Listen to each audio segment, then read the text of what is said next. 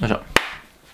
はい、どうも皆さん、こんにちは。トップシュのおさです。というわけで本日は20代で家族を作って、えー、子育てしながら、はい、自分のキャリアも切り開きたい、なんていうね、欲張りなあなたに送る、はい、お役立ち動画撮っていきます。よろしくお願いします。えー、それこそですね、私も例に漏れず大学生の時に、えー、自分ね、どうやって生きていったらいいんだろうとか、あるいはどんなキャリアになるのかなって不安を抱えながら過ごしておりました。えー、結果的にね、当時考えてたのは、やっぱりこう、なんだかんだ言っても、えー、家族とか子育てしながら、うん、幸せに暮らせたらいいな。そしてね、自分も一生懸命働きながら、うん、社会の役に立てればいいなと思ってたんですね。えー、ワークライフバランスなんていう言葉にまとめられますが、えまさにこれを重視したような生き方をしていきたいと思っていた学生です。え、ですね、その時に感じていたことと、今、先日まあ30歳になっちゃったんですけど、え、20代歩んできて、え、感じてきたこと、え心理的なハードルがあって、それをどういうふうに乗り越えてきて、具体的にどういうような準備をしたからこそそういうのができたのか、なんていうのね、話ができる立場になったかなと思ったので、えー、それがなんか、おそらくは皆さんが今後経験していく体験、あるいはキャリアと、非常にニアリーイコール近しいものになるかなと思ったので、この動画を撮っております。で、えー、まあ、きっかけはね、昨日、昨日かな？うん、サスケが、こんなことをなんか動画で言ってたんですよ。キャリアには寿命がありますよ、なんていうね。なんか恵比寿のおしゃれな場所でなんかこんななんかマスクしながらなんか言ってたんですよ。キャリアには寿命があると。うん。でね、まあ僕個人としては、まあその言葉聞いたら、もちろんその30歳とか40歳、50歳になったらキャリアにもうなんか、え、もうお先真っ暗なの？みたいな話があるかもしれないですけど、そういう話ではなくて、まあいつでも挑戦できますよ、人間なんてね。うん。でも、あの、純粋に、あの、まあ、心理的なハードルが生まれてくるような、いろんなライフイベントっていうものが、えー、プライベートでも20代のうちに起こりやすいですし、あるいは仕事上でもね、えー、そこで得られた仕事の経験値、仕事のスキルみたいなものが30代以降は評価されていくので、えー、きちんとそれを捉まえた上で、時間軸をきちんと計算した上で、えー、キャリア設計っていうものを行っていきましょう。そういった意味でキャリアには寿命があるよっていうような話を彼はしてました。で、えー、彼の話の中にも出てきた、えー、家族ができたり子育てみたいなものがあり、イベント発生すると、もう転職なかなかできないわと。年収下がっちゃってもうしんどいわもうね、ちょっとこの会社で頑張る、みたいなね、ことを考える人が、えー、マジョリティ、まあ、大多数を占めていきますよ、みたいな話をしてましたね。で、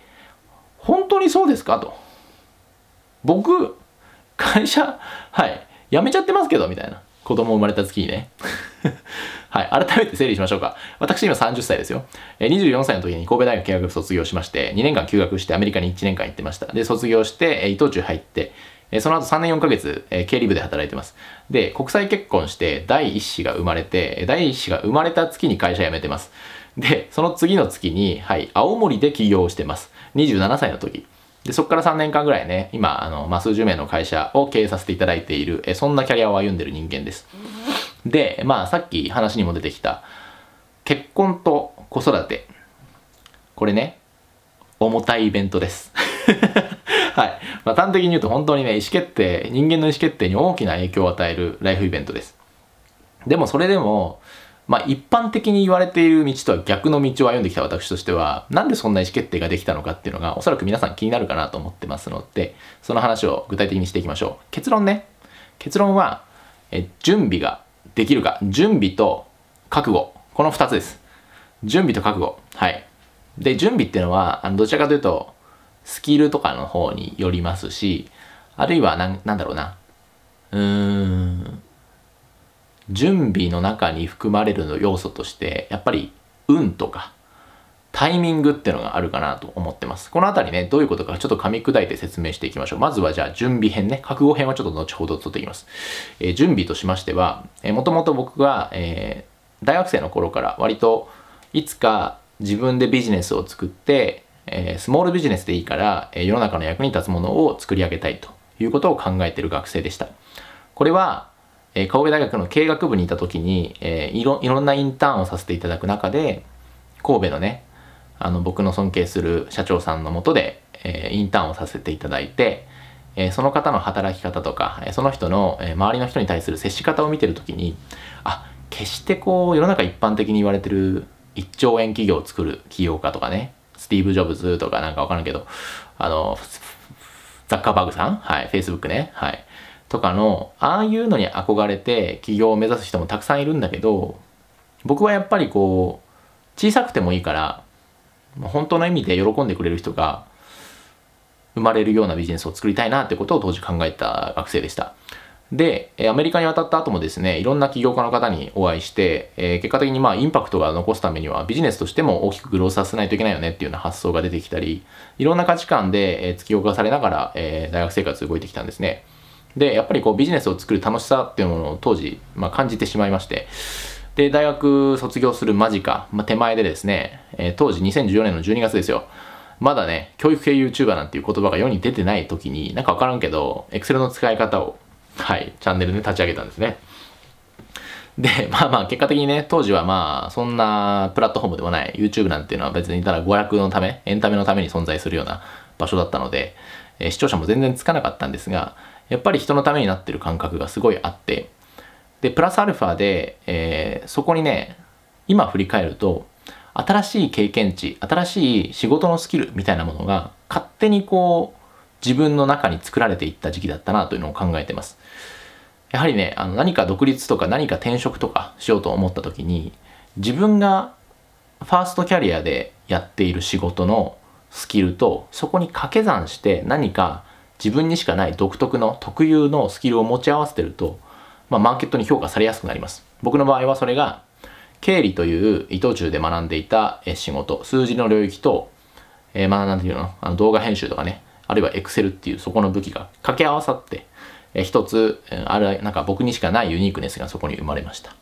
結果としてマーケットから求められる希少価値の高い人材になれたのかなと思っていて、それがいわゆるその27歳の時の独立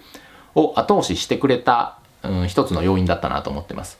なのでここで伝えたいことは、インターンとかね、あるいは自分で何かをやってみるっていう経験を通じて、そこで得られるハードスキル、そしてソフトスキルっていうものをぜひ磨いてください。うん。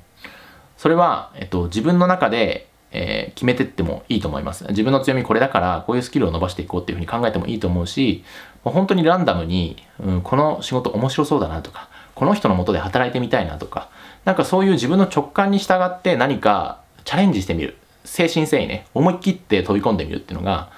あの、すごく、うん、後々のキャリアに大きく響いてくる意思決定だなと思ってます。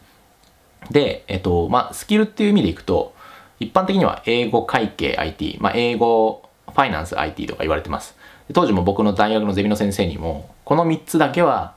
卒業する前にきちんと身につけて卒業しなさいっていうことで、僕は英語を学ぶためにワシントン大学、これね、ワシントン大学のパカーですよ。はい。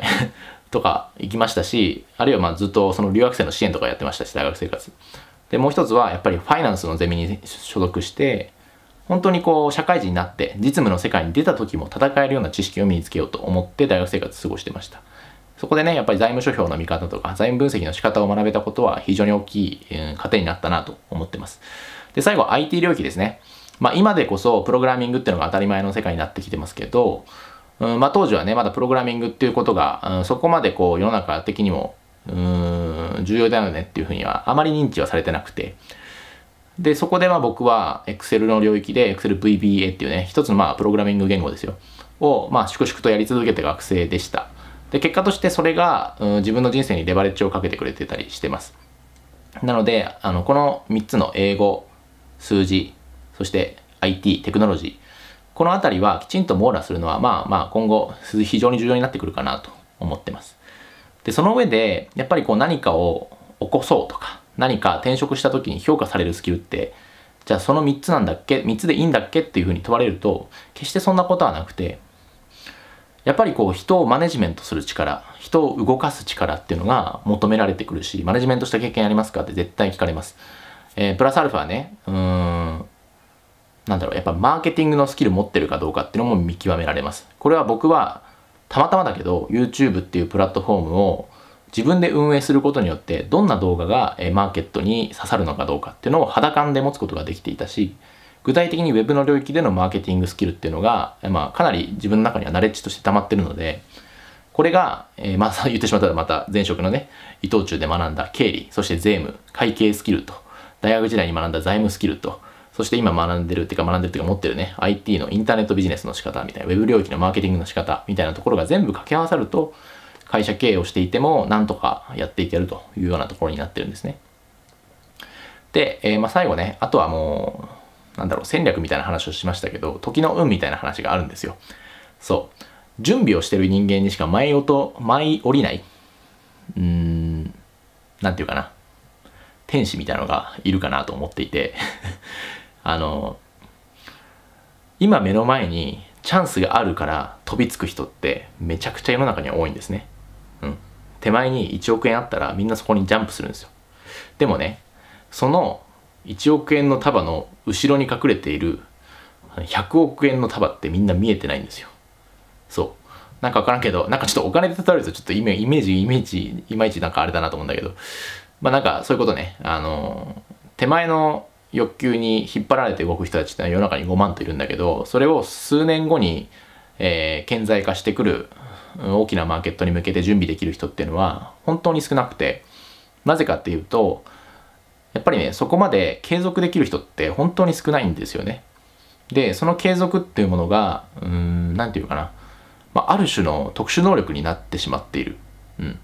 みんなその移りが早いというかね、なんか隣の芝生は青く見えるような時代、SNS がね、あるからこそ、そうなんだけど、やっぱこう一つのことを続けられる人っていうのは、それだけで希少価値を持ち始めているし、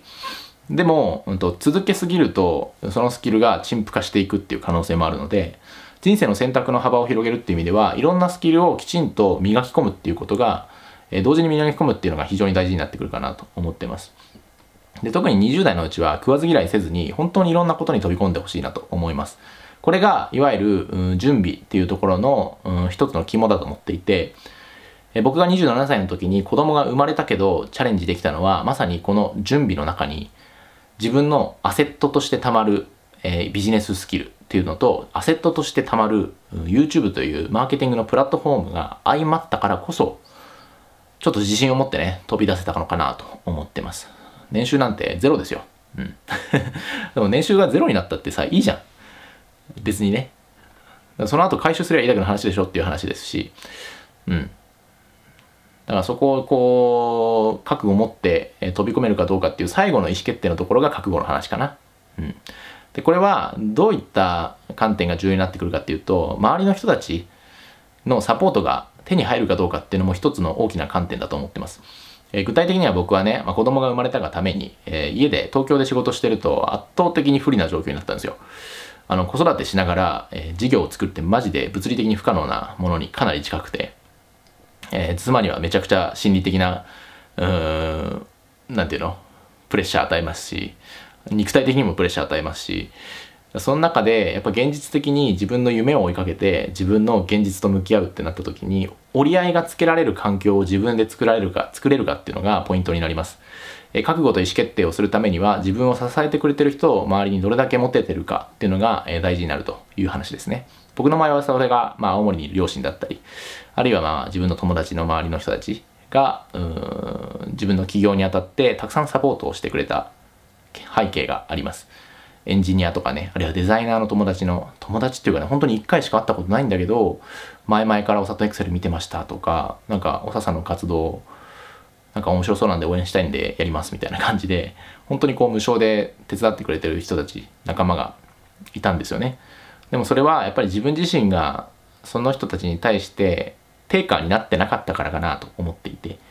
うん、ギバーであること、何か人に与え続けられる人であればあるほど、うん、そういった局面で協力してくれる人たちが増えてきます。なのでぜひね、えー、自分のスキルってものを大いに大いに周りに還元してほしいと思うし、それをやっぱ自分の中で溜め込むんじゃなくて、オープンにしていく時代だと思いますんで、ぜひね、そういうことを意識しながら、えー、取り組んでいただきたいなと思ってます。さて、ちょっと話は長くなっちゃいましたけど、えー、結論ですね、えー、家族作って子育てしながら、えー、何か自分のキャリアを彩る、そんな20代を送ると思ったら、もう今この瞬間からですね、あの、悠長なことはやらない方がいいです。まあ、単純に言うと、あの、本当にハードワークしてください。うん。ハードワークしないと自分の未来は切り開けません。あの、最初ね、ワークライフバランスなんていう風に言っちゃいましたけど、ぶっちゃけね、そんな甘い世界で、甘い世界っていうかね、うん、リアルなビジネス、リアルな世界っていうのはそんなに甘くないんですね。うん。やっぱり、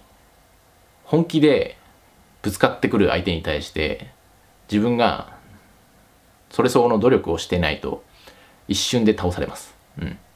だからこそ自分の限られた24時間、全員に平等に与えられた24時間というこの時間の使い方っていうのは本当に真剣にみんな考えてもらいたくて、遊ぶのも大事。遊ぶのも大事。だけど、何か成したいと思ったら、それに向けた準備を粛々とこなし続けることもめちゃくちゃ大事。どっちが、どっちも大事。どっちも大事よ。だからね、ぜひ、この特集を見てくれてるみんなの役に立つような話を今後もしていきたいし、うん、特集のみんなは、ぜひね、自分のキャリアを切り開いていけるように、毎日を大切に生きていってほしいなと思ってます。さて、なんかしんみりモードで終わっちゃいますけれどもね、あの、なんか、まあ、いずれにしてもあのユースフルというかね、特集は、あの、本当にみんなのこと応援してますんで、みんなの役に立つスキル、たくさん今後も配信していきますんで、ぜひ、ひいき目に見ていただけると嬉しいと思います。はい。というわけでね、じゃあまた、えー、次回お会いしましょう。こんな感じでね、Vlog 形式みたいな感じの動画、今後も撮っていきたいなと思っていて、まあなんかどこまで見てくれてるかわかんないですけど、あのー、なんかいいなと思ったらぜひ高評価、あるいはコメントにいただけると嬉しいなと思ってます。というわけでまた次回お会いしましょう。See you next time! バイバイ